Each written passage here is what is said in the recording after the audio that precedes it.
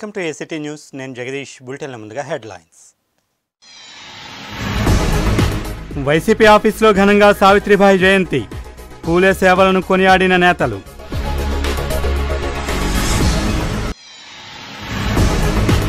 గాజువాకలో పండుగల పట్టాల పంపిణీ. ముఖ్య అతిథిగా హాజరైన మంత్రి ముత్తంశెట్టి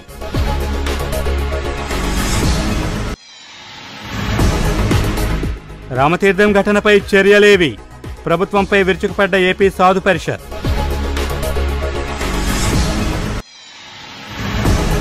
టీడీపీ చర్యలను ఖండిస్తూ హైవేలో నిరసన. విజయవాడ రెడ్డిపై దాడి అమానుషమన్న కేకే రాజు. దారి దోపిడీదారులను పట్టుకున్న పోలీసులు. ప్రజలంతా అప్రమత్తంగా ఉండాలన్న డీసీపీ సురేష్ బాబు. ఇక డీటెయిల్స్ చూస్తే వైసీపీ నగర పార్టీ కార్యాలయంలో బీసీ విభాగ నగర అధ్యక్షుడు సత్యాల సాగారిక ఆధ్వర్యంలో సావిత్రిబాయి పూలే జయంతి వేడుకలు ఘనంగా నిర్వహించారు. ఈ కార్యక్రమంలో ముఖ్య అతిథిగా నగర అధ్యక్షుడు వంశీకృష్ణ శ్రీనివాస్ మత్స్యకారులు కార్పొరేషన్ చైర్మన్ కోలా గురువులు హాజరయ్యారు. ఈ సందర్భంగా వారు మాట్లాడుతూ దివంగత జ్యోతిరావు పూలే ఆదర్శంతో ఆయన సతీమణి సావిత్రిబాయి పూలే సమాజంలో అసమానతలను తరలించేందుకు ఎనలేని కృషి చేశారని కొనియాడారు. మహిళలంతా విద్యావంతులు కాగలిగామంటే ఆమె స్ఫూర్తే కారణమన్నారు. ఈ కార్యక్రమంలో వైసీపీ బీసీ విభాగం పార్లమెంట్ శాఖ అధ్యక్షుడు రామన్న పాత్రుడు అధిక సంఖ్యలో పార్టీ శ్రేణులు పాల్గొన్నారు. మహిళా సోదరులందరికీ కూడా నచ్చుకుంటూ సెలవు తీసుకుంటున్నాం. తొలి మహిళా ఉపాధ్యాయుని వివరాలు తెలియచేసుకోవాలనుకుంటున్నాం. అలాగే సావిత్రి మహారాష్ట్రలో పూణేలో ఆవిడ జన్మించి చదివిస్తున్నాము ఈరోజు ఈ వేడుక చేసుకోవడం చాలా సంతోషంగా ఉంది. అలాగే తొమ్మిదో ఏడు నుంచి ఆవిడ తొమ్మిదో ఏడు వయసులోనే పన్నెండేళ్ళ వయసులో ఉన్న జ్యోతిరావు పులే గారిని వివాహం చేసి సావిత్రిబాయి పూలే జయంతి సందర్భంగా వైఎస్ఆర్ కాంగ్రెస్ పార్టీ జగన్మోహన్ రెడ్డి గారు ఒక మహిళా పక్షపాతనే చెప్పొచ్చు. కారణం ఏంటంటే పెద్దలు సావిత్రి సావిత్రిబాయి పూలే అడుగుజాడులో నడిచే విధంగా మహిళలకి ఈరోజు ఫిఫ్టీ పర్సెంట్ రిజర్వేషన్ అంటే మహిళా కార్పొరేషన్లు అంటే బీసీ కార్పొరేషన్ చైర్మన్లుగా నియమిస్తే ఇంచుమించు యాభై ఆరు కార్పొరేషన్లు నియమిస్తే అందులోనూ ఇరవై మూడు కార్పొరేషన్లు మహిళలకే పెద్దపీట వేశారని సందర్భంగా జగన్మోహన్ రెడ్డి గారు చెప్పవలసిన విషయం ఉందని సందర్భంగా తెలియపరుచుకుంటున్నాం. అలాగే జ్యోతిరావు పూలే అవనండి సావిత్రిబాయి పూలే కానివ్వండి ఈ పేదల కోసం మహిళల కోసం ఇనలేని ఇనలేని సేవ చేసి మహిళల్ని పెద్దపీట వేయడానికి సావిత్రిబాయి పూలే చేసిన ఘనత ఈ రోజు కూడా మనం మర్చిపోకుండా ఎప్పుడు వైఎస్ఆర్ కాంగ్రెస్ పార్టీ జగన్మోహన్ రెడ్డి గారికి కూడా ఆ పెద్దలు ఏవైతే చేశారో అది ఆశీగా తీసుకొని ఆ అనుగుణంగా ఈరోజు వైఎస్ఆర్ కాంగ్రెస్ పార్టీ మహిళలకు పెద్దపీట వేసిందని ఈరోజు చెప్పవలసిన విషయం ఉందని సావిత్రిబాయి పూలే జయంతి సందర్భంగా ఈ కార్యక్రమాన్ని ఏర్పాటు చేసినటువంటి బీసీసీఎల్ అధ్యక్షులు మా రామణపాత్రి గారికి అలాగే మా సాగర్ గారికి ఇంకా వేదిక మీద ఉన్నటువంటి వైఎస్ఆర్ కాంగ్రెస్ పార్టీ ముఖ్య నాయకులకు ఇక్కడికి వచ్చేసిన పాత్రికేయ సోదరులందరికీ నా హృదయపూర్వకమైన ధన్యవాదాలు. మరి ఈ రోజు మనందరికి తెలిసిన విషయమే సావిత్రిబాయి పూలే మరి అప్పట్లో చాలా ఎనుకబడిన బలుగు బలహీన వర్గాలు అందరూ కూడా ఆర్థికంగా సామాజికంగా మరి ముఖ్యంగా ఎడ్యుకేషన్ అన్నది చాలా అవసరం. ఆ మూడు రంగాలలో అభివృద్ధి జరిగితేనే ఈ దేశం అభివృద్ధి జరిగినట్టు భావించి అప్పట్లోనే ఎంతో చైతన్యవంతులు చేసి మహిళలందరూ కూడా ముందుకొచ్చి చదువుకోవాలి. వాళ్ళు వాళ్ళ చే వాళ్ళ కాళ్ళ మీద నిలబడే విధంగా పోరాటం చేయాలి. ఖచ్చితంగా అప్పుడే మహిళా సాధికతతో పాటు ఈ రాష్ట్రం కానీ దేశం కానీ అభివృద్ధి జరిగినట్టు అని చెప్పేసి భావించి అప్పట్లోనే ఎంతో చైతన్యం తీసుకొచ్చిన ఒక గొప్ప నాయకురాలు ఆమె. పేదలకు ఇళ్ళ పట్టాల పంపిణీ గాజువాకలో పండుగలా జరిగింది. నియోజకవర్గ నలుమూలల నుంచి వచ్చిన లబ్ధిదారులతో సభా ప్రాంగణం ఆదర్శ మైదానం కిక్కిరిసిపోయింది. ఎమ్మెల్యే తిప్పల నాగిరెడ్డి అధ్యక్షతన జరిగిన సభలో జిల్లా మంత్రి ముత్తంశెట్టి శ్రీనివాసరావు ముఖ్య అతిథిగా పాల్గొన్నారు. ఈ సందర్భంగా ఆయన మాట్లాడుతూ పేదల ఆకాంక్ష నెరవేర్చిన సీఎం జగన్మోహనరెడ్డి ఎన్నటికీ అందరి హృదయాల్లో నిలిచిపోతారని అన్నారు. దశాబ్దాల నాటి గాజువాక భూ సమస్యతో పాటు ఇతర సమస్యలన్నీ పరిష్కరించేందుకు గాను త్వరలో జిల్లా కలెక్టర్తో సమావేశమవుతామని చెప్పారు. రాష్ట్రంలో చంద్రబాబు వ్యవహరిస్తున్న తీరుపై మంత్రి మండిపడ్డారు. ఆలయాలు విగ్రహాలపై తన కార్యకర్తలతో దాడులు చేయించి దానిని వైసీపీ ప్రభుత్వంపై ఆపాదిస్తున్నాడని ఇలాంటి ప్రతిపక్ష నేతకు ప్రజలే తగిన గుణపాఠం చెబుతారని అన్నారు. ఈ కార్యక్రమంలో ఎంపీ ఎంవివి సత్యనారాయణ మాజీ ఎమ్మెల్యేలు తిప్పల గురుమూర్తిరెడ్డి చింతలపూడి వెంకట్రామయ్య వైసీపీ గాజువాక ఇన్ఛార్జ్ తిప్పల దేవన్ రెడ్డి జిల్లా విద్యార్థి విభాగం అధ్యక్షుడు వంశీరెడ్డి జోనల్ కమిషనర్ శ్రీధర్ ఆయా వార్డుల కార్పొరేటర్ అభ్యర్థులు పార్టీ నాయకులు పాల్గొన్నారు. మొన్న ఒక మంచి నిర్ణయం తీసుకున్నారు. ఎందుకనంటే మరి ఆయన ఇక్కడ పుట్టి పెరిగిన వ్యక్తి నాగిరెడ్డి గారు మరి నిత్యం మీ అందరిలో కూడా పేరు పెట్టి పలరించే వ్యక్తి మీకు ఏ సమస్య ఉన్నా తలుపులు దోచుకునే నాగిరెడ్డి గారు ఇంటే కలగలము అంతేనా కదా? దానికైతే ఇంటర్వ్యూ అవసరంలో పర్మిషన్ అవసరంలో టైం మరి అదే అవతల వ్యక్తి అయితే మీకు తెలుసు. ఆ కాదు బాలకుడు ఎవరైనా కూడా చెప్తున్నాడు. మరి దానికి కొంత ప్రొసీజర్ ఇంటర్వ్యూ సిస్టమ్ ఆ లోకేష్ బాబు నేను ఛాలెంజ్ చేస్తున్నాడు సింహాచలం దమ్ముంటే ప్రమాణం చేద్దాం నేను ఒకటే అడుగుతున్నా. లోకేష్ బాబు నువ్వు ఐదు సంవత్సరాలు మంత్రిగా చేసావు. సో ఎప్పుడైనా సింహాచలం వచ్చావా? విశాఖపట్నం సింహాచలం దారి తెలుసు నీకు. తెలియదు అలాగే ఆయనకు దత్తపుత్రుడు ఉన్నాడు పవన్ కళ్యాణ్. ఏదన్నా మనకి మంచి పేరు వస్తుంది మనం ఏదన్నా కార్యక్రమం చేస్తామని జగన్మోహన్ రెడ్డి గారు ఆ దత్తపుత్రుడు కూడా తెలుసు. ఎందుకని? నీ సొంత. నీ సొంత పుత్రుడు నీ దత్తపుత్రుడు నువ్వు మీ అందరు కలిసినా కూడా జగన్మోహన్ రెడ్డి గారిని చిటికని వేలు కూడా మీరు అని తెలియజేస్తున్నాను. ఏదైతే మూడు వేల నాలుగు వందల పైచీలకు కిలోమీటర్ పాదయాత్ర చేసి ప్రజల కష్టాలు బాగోగులు అన్ని గమనించి ఒక నవరత్నాల కార్యక్రమం ద్వారా మేనిఫెస్టో తయారు చేసుకుని ఆయన ఎలక్షన్ల ముందు హామీ ఇచ్చారు.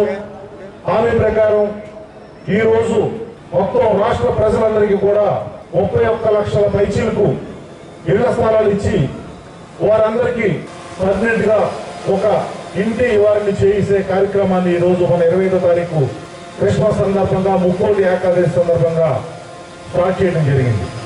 ఆ కార్యక్రమంలో ఆయన పాదయాత్ర చేసే సమయంలో మేనిఫెస్టోలో ఆయన మాట ఇచ్చింది ఏంటంటే సంవత్సరానికి ఐదు లక్షల చొప్పున ఐదు సంవత్సరాలు ఇరవై ఐదు లక్షల ఇల్లు కట్టిస్తారని మాట ఇచ్చారు.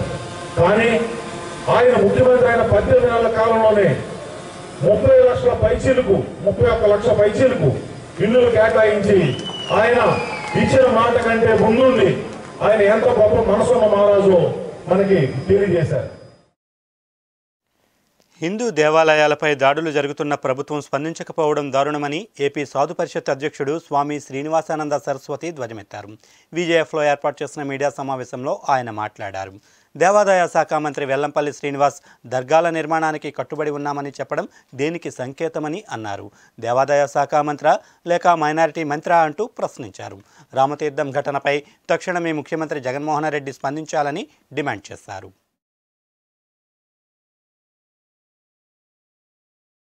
రామతీర్థంలో ఇరవై ఎనిమిదో తేదీన దుర్ఘటన జరిగితే విజయనగరం జిల్లా దేవాదాయ ధర్మాదాయ శాఖ మంత్రి మన రాష్ట్రానికి ఉండేటువంటి మన వెల్లంపల్లి గారు ఇన్ఛార్జ్ మంత్రిగా ఉన్నారే?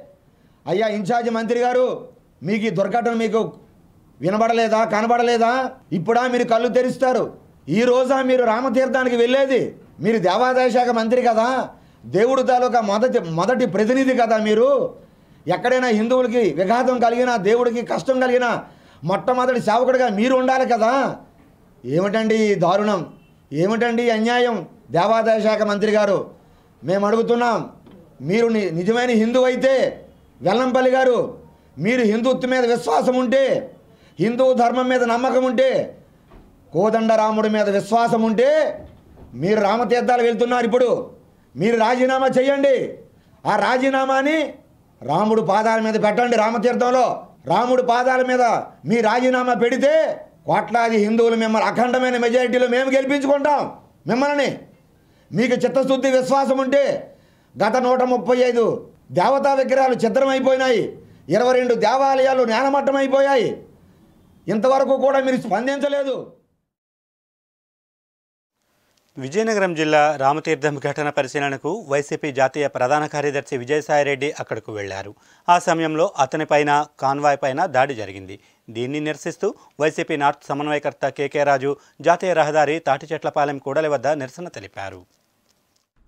రామతీర్థం ఆలయంలో దుండగులు శ్రీరాముని విగ్రహం తల భాగాన్ని కూల్చివేసి దొంగలించిన ఘటనపై పరిశీలనకు ప్రతిపక్ష నేత చంద్రబాబు అధికారపక్ష నేత విజయసాయి రెడ్డిలు అక్కడకు చేరుకున్నారు. ఆ సమయంలో అక్కడ ఉద్రిక్తత నెలకొంది. కాగా చంద్రబాబు డైరెక్షన్లో టీడీపీ కార్యకర్తలు విజయసాయిరెడ్డిపై దాడికి పాల్పడ్డారని పార్టీ నార్త్ సమన్వయకర్త కేకే రాజు ఆరోపించారు.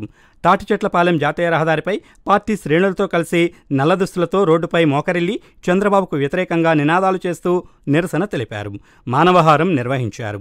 ఈ సందర్భంగా రాజు మాట్లాడుతూ విజయసాయిరెడ్డిపై దాడిని దుర్మార్గపు చర్యగా అభివర్ణించారు. ఉత్తరాంధ్ర ద్రోహి అంటూ చంద్రబాబుపై ధ్వజమెత్తారు. ఆంధ్రప్రదేశ్ రాష్ట్ర చరిత్రలో ఎన్నడూ లేనటువంటి విధంగా ఈ రాష్ట్రాన్ని ఈ రాష్ట్రానికి మూడు సార్లు ముఖ్యమంత్రిగా పనిచేసిన చంద్రబాబు నాయుడు ఈరోజు ఆంధ్రప్రదేశ్ రాష్ట్రంలో గౌరవప్రదమైన ప్రతిపక్ష నాయకుడిగా ప్రజా సంక్షేమానికి రాష్ట్ర అభివృద్ధికి రాష్ట్రంలో శాంతి భద్రతలకు రక్షణకు ప్రభుత్వానికి సహకరించాల్సింది పోయి గతంలో ఏ నాయకుడు చేయనటువంటి విధంగా కులాల మధ్య మతాల మధ్య చిచ్చులు పెడుతూ చాలా దుర్మార్గంగా రాజకీయ విలువని కాలరాస్తూ రాజ్యాంగం కల్పించిన హక్కులను కూడా భంగం కలిగిస్తూ రాజ్యాంగ విధ్వంసం సృష్టిస్తూ ఈరోజు చంద్రబాబు నాయుడు చేస్తున్న చర్యల్ని తీవ్రంగా ఖండిస్తూ ఉన్నాం.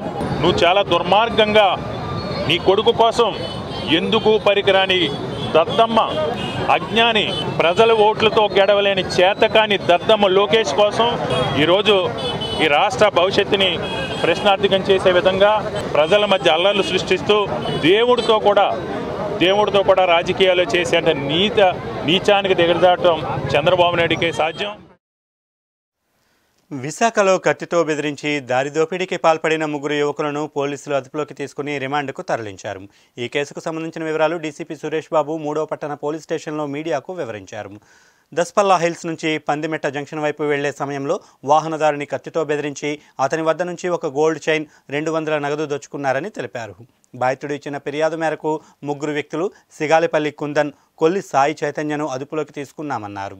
వారి నుంచి గోల్డ్ చైన్ రెండు వందల రూపాయల నగదు హోండా డియో స్కూటర్ బటన్ నైఫ్ను స్వాధీనపరుచుకొని రిమాండ్కు తరలించామన్నారు. ఈ కేసును ఛేదించిన CI Simhadri Naidu SI Shyam Sundar head constable Prasad police constable వీర్రాజును అభినందించారు. కంప్లైనెంట్ వర నరసింహరావు అనే ఆయన ఎలక్ట్రీషియన్గా పనిచేస్తున్నారు. ఆయన age about twenty eight years. ఆయన తన మోటార్ సైకిల్కి ఆయిల్ కొట్టించుకుందామని చెప్పి ఈ సర్క్యూట్ హౌస్ పక్క నుంచి పందిమెట్ట వైపు వెళుతూ ఉంటే ఆ రోడ్లో ముగ్గురు కురవాళ్ళు ఆ బండిని ఆపి ఆయన్ని బెదిరించి కత్తితో ఓ చిన్న గాయపరిచి ఆయన దగ్గర ఒక రెండు వందల రూపాయలు క్యాష్ అట్లాగే ఒకటింపావు తులం వెయిట్ ఉన్న బంగారం చైన్ని లాక్కున్నారు. లాక్కుని రాబరీ చేయడం జరిగింది. ఆయన వెంటనే ఆయనకు ఒక చిన్న చేతికి ప్రొటెస్ట్ చేస్తే కత్తితో బెదిరించి ఆయనకి గాయం కూడా చేశారు. ఆయన ఇమీడియట్లుగా three town police station complaint ఇవ్వడం జరిగింది. వెంటనే మన సిఐ నాయుడు గారు సింహాద్రి నాయుడు గారు అట్లాగే శ్యామ్ సుందర్ ఎస్ఐ గారు వారి సిబ్బంది నేరస్థలాన్ని విజిట్ చేయడం జరిగింది. అయితే అక్కడ అనుమానంగా ఉన్న కుర్రాళ్ళందరినీ తీసుకొచ్చి వెరిఫై చేయగా అందులో ఒక ముగ్గురు సస్పెక్ట్స్ దొరికారు. ఆ ముగ్గురు పేర్లు ఏంటంటే ఒక అతని పేరు రూబెన్ కుందన్ రూబెన్ చైతన్య. వీళ్ళ ముగ్గురు కూడా మన రామనగర్ వెనకాల ఉన్న పితాని దెబ్బ రామనగర్ కాలనీలో వీళ్ళు నివాసం ఉంటున్నారు. వీళ్ళ ముగ్గురు కూడా గాంజాయికి అలవాటు పడి సర్క్యూట్ హౌస్ పక్కన ఉన్న తుప్పల్లో గంజాయి తాగుతూ ఉంటారు. వారేమో గంజాయి తాగి ఆ మత్తులో రోడ్డు మీదకి వచ్చేసరికి ఈయన వెళ్తూ ఉన్నారు. గంజాయికి డబ్బులు లేవు. ఇమ్మీడియట్గా అతను నాకు టూ హండ్రెడ్ రూపీస్ ఇవ్వమని చెప్పారు. అక్కడ పెనుగులాట జరిగింది. కత్తితో అతను గాయపరిచి అతను మెడలో ఉన్న చైన్ కూడా దొంగతనం చేసినట్టు వాళ్ళు ఒప్పుకోవడం జరిగింది. వాళ్ళ ముగ్గురిని అరెస్ట్ చేసి నిన్న ఈవినింగే రిమాండ్కి పంపించడం జరిగింది.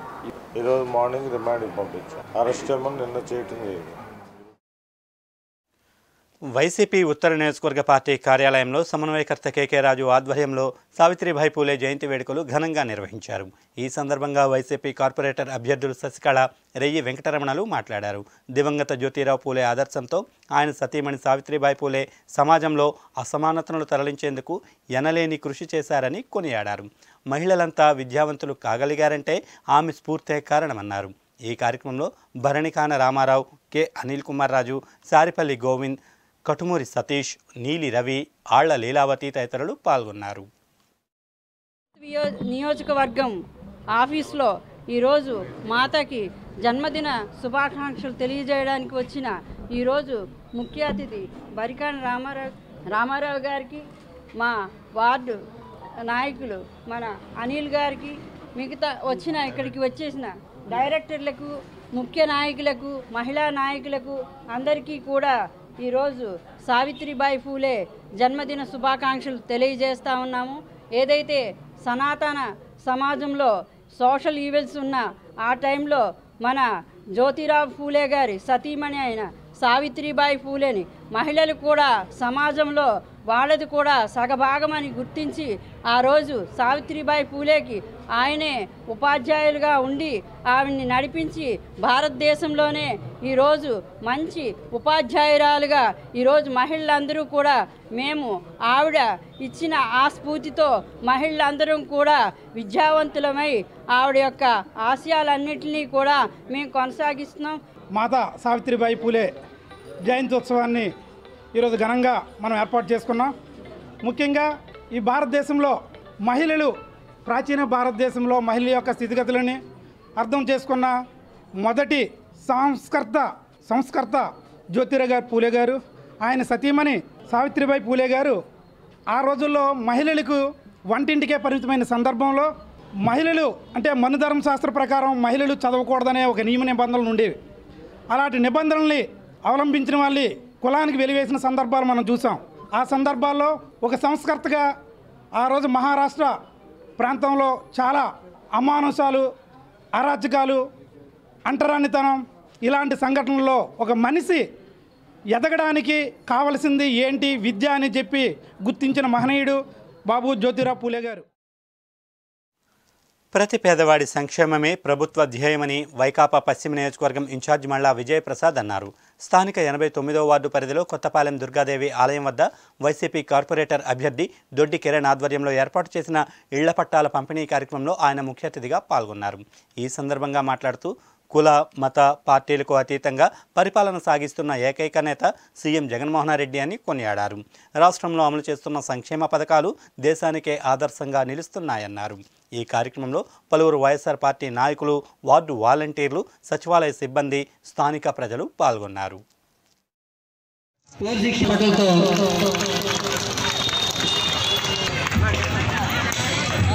చూడండి. చక్కని విషయాలు తెలియజేశారు. మరి ఈరోజు వాడవాడల పండగ వాతావరణం. డిసెంబర్ ఇరవై ఐదో తేదీ జననేత ముఖ్యమంత్రి జగన్మోహన్ రెడ్డి గారి చేతుల మీదుగా ముప్పై ఒక్క లక్షల మందికి ఇళ్ళ పంటల ప- పంపిణీ కార్యక్రమం ప్రారంభమై ఆ రోజు నుంచి ఈ రోజు వరకు కూడా ప్రతి ప్రాంతంలోనూ కూడా ఇదే పండగ వాతావరణం నెలకొల్పి ఉంది ఎందుకంటే ప్రతి మనిషికి జీవితకాల కళ సొంత ఇల్లు ఉండాలి అని. డబ్బున్న వాళ్ళు కానీ డబ్బు లేని వాళ్ళు కానీ ప్రతి ఒక్కరికి కూడా కళ. మరి ఈరోజు ఆ కళని నిజం చేసినటువంటి వ్యక్తి జగన్మోహన్ రెడ్డి గారు. మరి ఈరోజు మీరు చూశారు. ఇంత వందల మంది వేల మంది తరలి వచ్చారు అని అంటే మరి మొన్న పారిశ్రామ ప్రాంతంలో విజయసాయిరెడ్డి గారు ముఖ్య అతిథిగా విచ్చేసినటువంటి మంత్రి గారు ఆ యొక్క కార్యక్రమానికి ఏ రకమైనటువంటి స్పందన వచ్చింది? మరి ఉదయం గోపాలపట్లో తొంభై ఒకటి తొంభై రెండు వార్డులో జరిగినటువంటి దానికి ఏ రకమైనటువంటి స్పందన వచ్చింది? ఈరోజు ఎనభై తొమ్మిదో వార్డులో జరిగినటువంటి దానికి స్పందన. అంటే ప్రతి ప్రాంతంలోనూ కూడా వాళ్ళ ఒక సంతోషాన్ని వ్యక్తపరిచినటువంటి పరిస్థితి. తప్పకుండా ప్రజల కోసం ప్రజల పక్షాన ప్రజలకు మేలు జరిగే ప్రతి కార్యక్రమంలో కూడా వైఎస్ఆర్ కాంగ్రెస్ పార్టీ ముందుంటుందని వాళ్ళ కోసం నిరంతరం పనిచేయడానికి మేము ఎప్పుడు కూడా సిద్ధంగా ఉంటామని చెప్పి ఈ సందర్భంగా తెలియపరుచుకుంటూ అందరికీ కూడా నూతన సంవత్సర శుభాకాంక్షలు. ప్రజానాట్య మండలి విశాఖ నగర కమిటీ ఆధ్వర్యంలో ఆర్కే బీచ్ విమానం మ్యూజియం వద్ద కామ్రేడ్ సఫ్దర్ హష్మీ ముప్పై రెండవ వర్ధంతి ఘనంగా జరిగింది. ఈ సందర్భంగా సఫ్దర్ హష్మీ చిత్రపటానికి పూలమాలలు వేసి ఘనంగా నివాళులు అర్పించారు. ఈ సందర్భంగా ప్రజానాట్య మండలి అధ్యక్షుడు దండు నాగేశ్వరరావు మాట్లాడుతూ కార్యవర్గ హక్కుల కోసం వీధి నాటిక ద్వారా కార్మికులను చైతన్యం చేసి తన ప్రాణాలు సైతం అర్పించిన వ్యక్తి హష్మి అని కొనియాడారు. కార్మిక హక్కులపై కేంద్ర రాష్ట్ర ప్రభుత్వాలు చేస్తున్న దాడిని తిప్పికొట్టాలని పిలుపునిచ్చారు. ప్రజానాట్య మండలి కార్యదర్శి గుర్రం రమణ మాట్లాడుతూ హష్మి వీధి నాటిక ప్రజలను ఎంతో ఉర్రుతలుగి తొలగించేదని ఎంతోమంది ప్రజా కళాకారులను తీర్చిదిద్దారని కొనియాడారు. ఈ సందర్భంగా నగరంలో ప్రజలపై పెరుగుతున్న పన్నుల భారాలకు వ్యతిరేకంగా పన్నుల భారంపై వీధి నాటిక రైతు ఆవేదన ఏకపాత్రాభినయం బాలబాలిక కళాకారులచే ఫ్లాష్ మ్యాబ్ ఆజాదీ డప్పులు తీన్మార్లు పాటలు పాడి సఫ్దర్ హష్మికి ఘన నివాళులు అర్పించారు. ఈ కార్యక్రమంలో సిఐటియు జిల్లా నాయకులు మణి ప్రజానాట్య మండలి గౌరవాధ్యక్షులు శ్యామ్జీ దర్శకులు బొట్టా వేణు బాదంగీర్ సాయి ప్రజానాట్య మండలి నగర ఉపాధ్యక్షులు వై అప్పారావు తదితరులు పాల్గొన్నారు.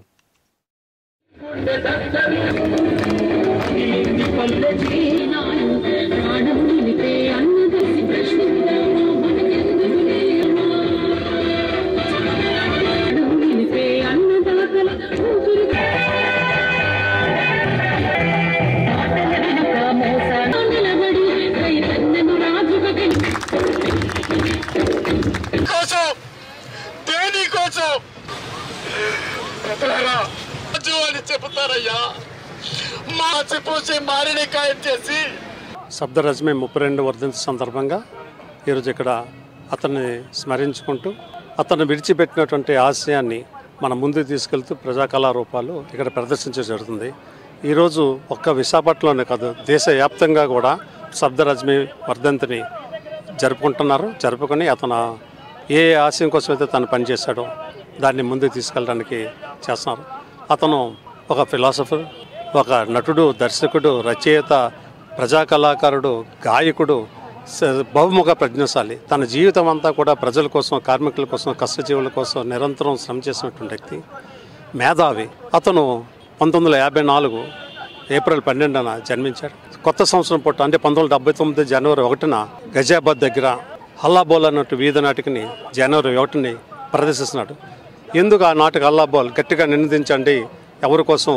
కష్టజీవుల కోసం. అక్కడ ఉంటే కార్మిక వర్గం చేస్తున్నటువంటి పోరాటానికి సంఘీభావంగా హల్లాబోల్ అంటే నాటికని కార్మికులను చైతన్యం చేయడానికి కార్మికుల సమ్మెల్లో ముందుకు కొరకడానికి తన కలరూపం శబ్దరాజు కల హల్లాబోల్ నాటిక ప్రదర్శన.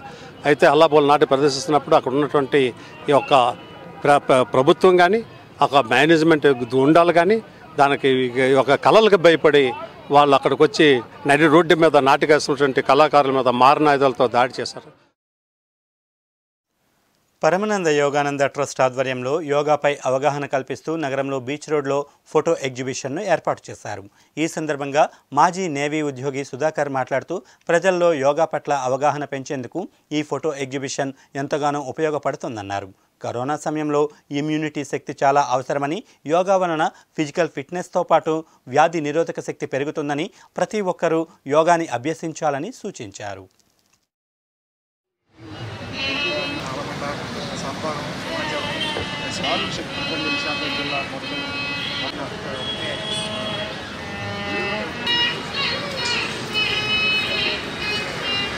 భగవంతుణ్ణి మనం ఈ జన్మలోనే చేరుకునే అవకాశం ఉందా? ఉంటే ఏమిటి మార్గం? అని ఆయన ముందు తెలుసుకొని చాలా సాధన చేసి ఆధ్యాత్మిక లెవెల్లో చాలా హయ్యెస్ట్ లెవెల్కి వెళ్ళిపోయిన తర్వాత ఆయన ఇది అందరికీ అందాలి అనే ఉద్దేశంతో ఇది స్థాపించారు. దీంట్లో అన్నిటికంటే ముఖ్యం ఏంటంటే క్రియాయోగా అనే ఒక ప్రక్రియ ఒక ధ్యాన ప్రక్రియ క్రియాయోగ. అది శ్రీకృష్ణుడు ద్వాపర యుగంలో అర్జునుడికి చెప్పిన భగవద్గీతలో క్రియాయోగ ప్రస్తావన ఉంది. అప్పుడు తర్వాత మళ్ళీ పతంజలి మహర్షి గారికి ఈ క్రియాయోగ గురించి ఆయన మిగిలిన వాళ్ళకి ప్రచారం చేయడం జరిగింది. ఆ తర్వాత మధ్యకాలంలో ఇది మరుగుపడిపోయి ఎవరికీ తెలియలేదు.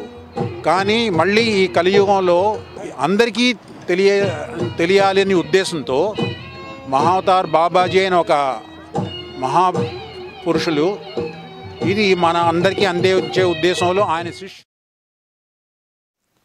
విశాఖ ఆర్కే బీచ్ పర్యాటకులను అలరించడంతో పాటు కళలకు వేదిక అవుతోంది తారకేశ్వరి ఫౌండేషన్ ఆధ్వర్యంలో నగరంలో ఆర్కే బీచ్ సబ్మెరైన్ ఎదురుగా ఉన్న అన్నమయ్య వేదిక ప్రాంగణంలో శ్రీకాకుళం ప్రాంతానికి చెందిన ప్రముఖ వయోలిన్ వాద్యకారులు గణపతి శర్మ ఆధ్వర్యంలో వయోలిన్ సంగీత వివాహవరి ఏర్పాటు చేశారు. ఈ సంగీతంతో ఆహుతులను అలరించారు. ఈ సందర్భంగా ఫౌండేషన్ కన్వీనర్ మాట్లాడుతూ ప్రజల్లో కరోనా సమయంలో అవగాహన కల్పించేందుకు ఈ కార్యక్రమం ఏర్పాటు చేసినట్లు తెలిపారు.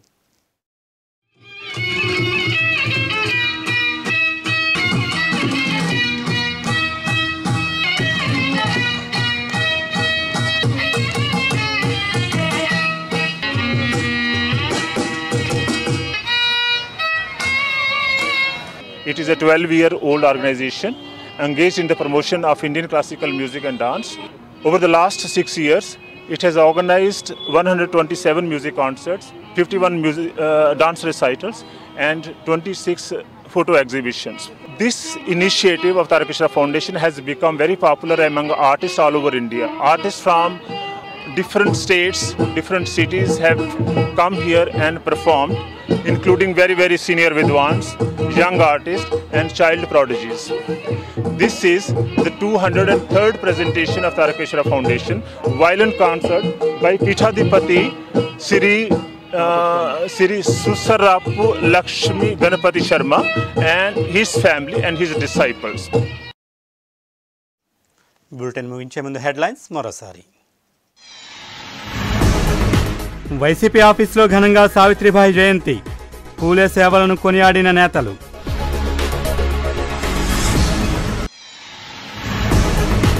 గాజువాకలో పండుగల పట్టాల పంపిణీ. ముఖ్య అతిథిగా హాజరైన మంత్రి ముత్తంశెట్టి